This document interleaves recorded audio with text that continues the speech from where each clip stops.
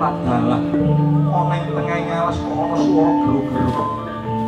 Ana ngendi dununge swara gero-gero tak propekane yen kaya mangku.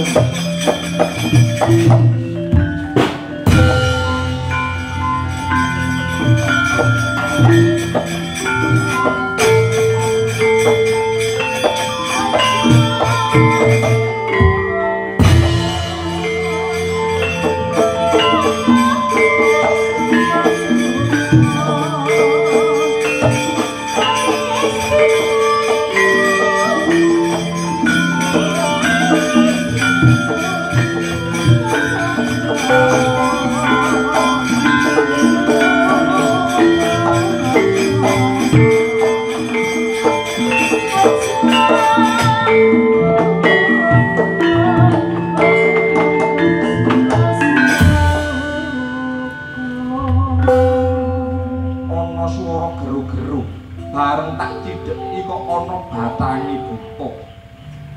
iki buta sapa Duh, Raden, kula nyuwun senjata pitulungan Raden. Lho.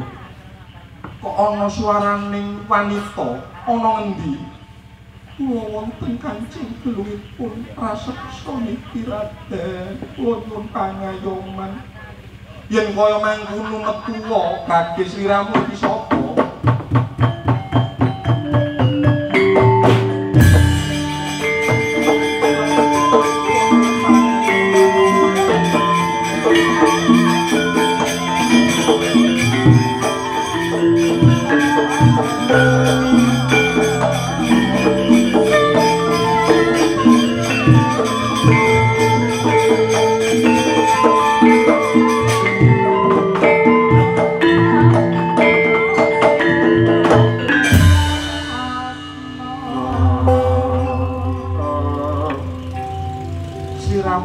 sapa sliramu iki sapa gage? Matura Raden kula menika putri saking negari Mandura Raden.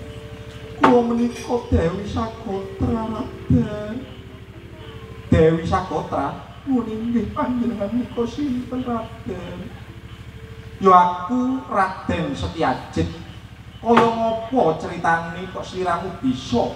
Ana ing kancing gelunge buta iki mau kula menika dipun citra kalih raseksa. Niki wau Raden kula nyuwun pangayoman. Iya.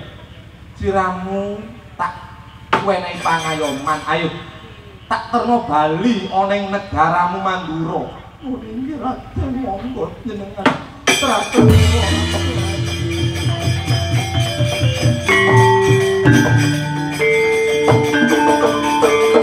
kakang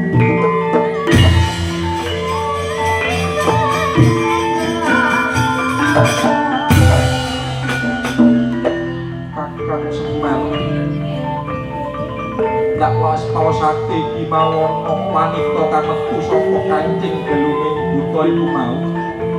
Malah saiki diterake satriya iku kakang eh monggo dipun uber lho kok menawi mangko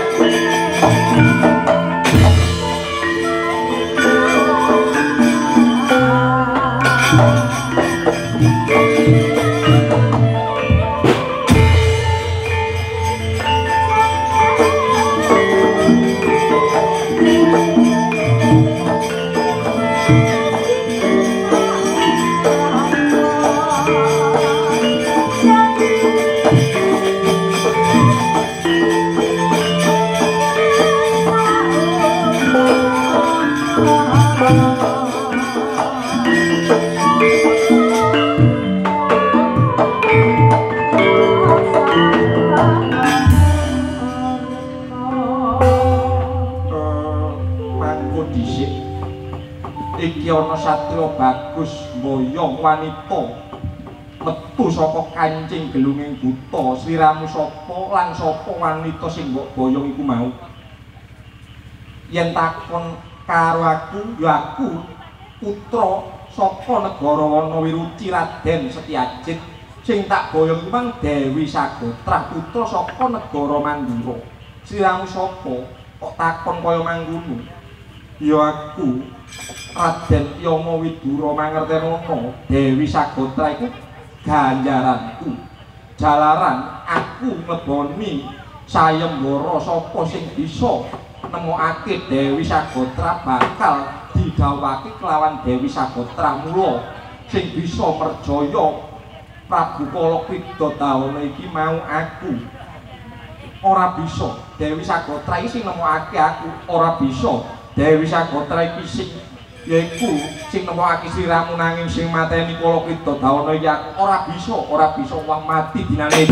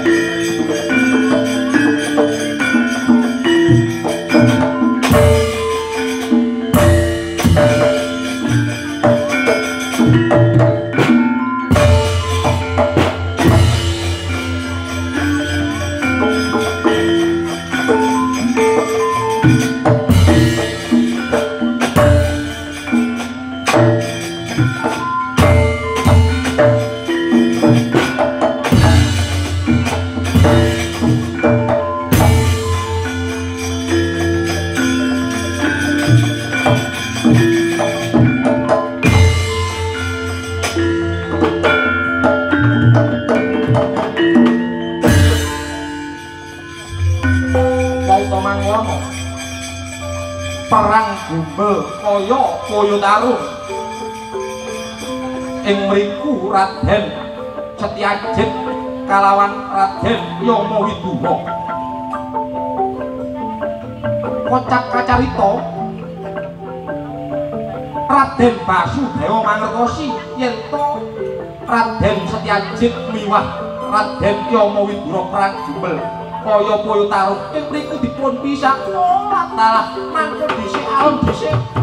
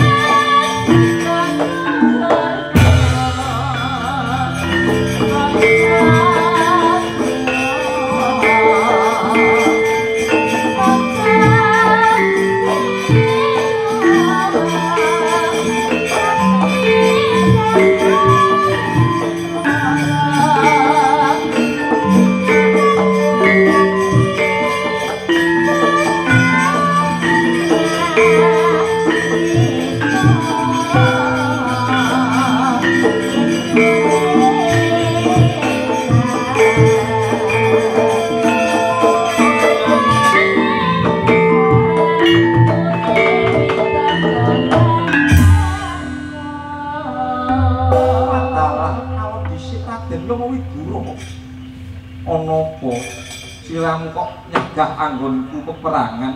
Mangko dhisik perang gumbel kaya koyo tarung iki apa sing mbok rebutake? Ora ana liya yaiku adimu Dewi Sagotra. Sing bisa merjaya buta iku mau aku nanging ana ing tengahing alas ing kono Raden Setyajit nemokake Dewi Sagotra mula. Siramu kudu bisa mutusi sapa sing bakal didhawuhake kelawan aku? Siramu bisa ngalar uga kudu bisa nggulung.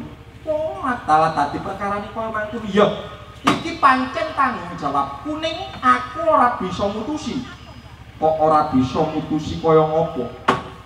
Ngene wae ayo ana ing negara Mandura putusane ana ing Kanjeng Rama. Ya ya ayo tak derekake yen kaya mangkun